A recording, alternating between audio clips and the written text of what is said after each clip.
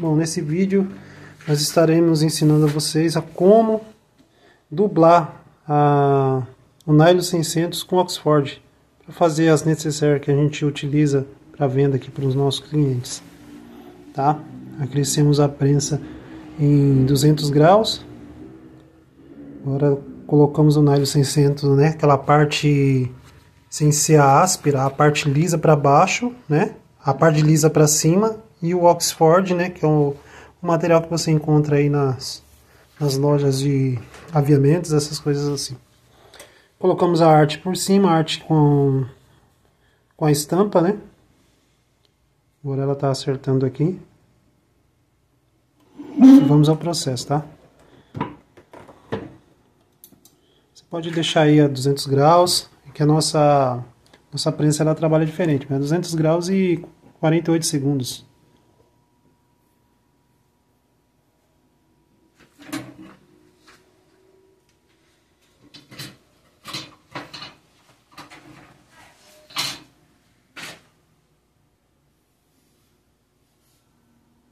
Vamos, vamos esperar terminar aí para mostrar o resultado para vocês de como fica, né, depois de pronta.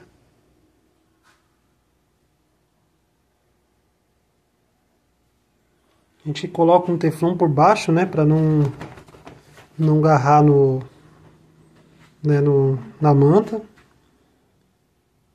Aí terminou.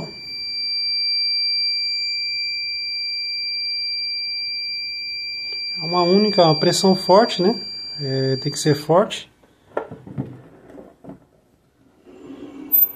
Ó, o resultado aqui, ó, já saiu. Né? Já tiramos, já não Sai grudou. Quente. Sai quente, né? Então com cuidado para não se queimar. E aqui tá o resultado, ó. Estampar a estampa, ó. Fica perfeita, tá? Ela não solta, ela vai mostrar aqui, ó. Entendeu? Ela tiver esse chama o famoso dublado, né? A dublagem feita no Oxford. E daqui vai para a máquina, né, para a gente finalizar ela na, na máquina de costura. Beleza? Se inscreva no canal aí e curta para mais vídeos como este.